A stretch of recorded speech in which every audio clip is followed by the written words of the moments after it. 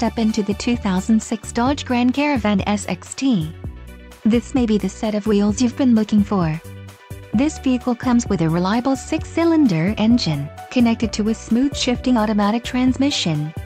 This vehicle's top features include privacy glass, third passenger door, passenger illuminated visor mirror, pass-through rear seat, steering wheel audio controls, bucket seats, and keyless entry.